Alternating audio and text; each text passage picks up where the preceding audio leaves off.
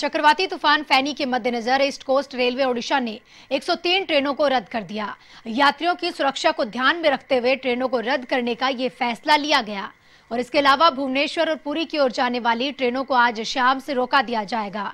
वहीं चक्रवाती तूफ़ान फैनी के ओडिशा के पुरी में दस्तक देने की आशंका के चलते सुरक्षा बलों को हाई अलर्ट पर रखा गया।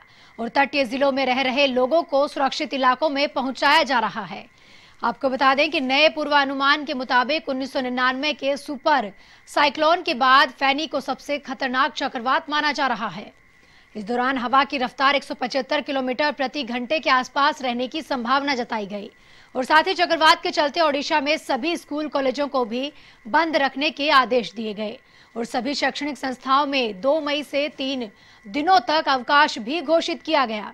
वहीं सुरक्षा के मद्देनजर राज्य में सभी डॉक्टरों और सभी स्वास्थ्य सेवा कर्मियों की छुट्टियाँ 15 मई तक पूरी तरह से रद्द कर दी गई।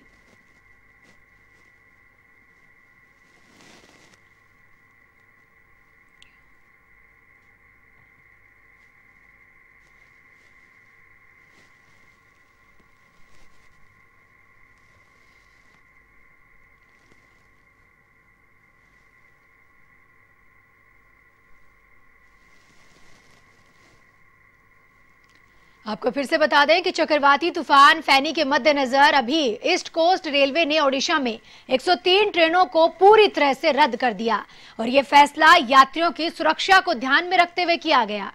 और इसके अलावा भुवनेश्वर और पुरी की ओर जाने वाली सभी ट्रेनों को आज शाम तक रोका गया है। चक्रवाती तूफ़ान फैनी के ओडिशा के पुरी में दस्तक देने की आशंका के चलते सुरक्षा बलों को भी पहले से हाई अलर्ट पर रखा गया और तटीय जिलों में रह रहे सभी लोगों को अभी से सुरक्षित इलाकों में पहुँचाने का काम भी किया जा रहा है। बता दें कि पूर्वानुमान के मुताबिक 1999 के सुपर साइक्लोन के बाद फैनी को सबसे खतरनाक चक्रवात माना जा सकता है। इस दौरान हवा की रफ्तार 175 किलोमीटर प्रति घंटे के आसपास रहने की संभावना मौसम विभाग ने जताई है। और साथ ही चक्रवात के चलते ओडिशा में सभी स्कूल, कॉलेजों को सुरक्षित स्थानों पर बच्चों को पहुँचाने के लिए कहा गया और सभी स्कूल कॉलेजों को अगले पंद्रह दिनों तक बंद रखने के लिए कहा गया। और साथ ही सभी डॉक्टरों को और सभी जितने भी कर्मचारी हैं, उनकी छुट्टियाँ भी पंद्रह मई तक रद्द कर दी गई, ताकि किसी भी आपातकाल से निपटने के लिए सभी कर्मचारी पहले से तैयार रहें।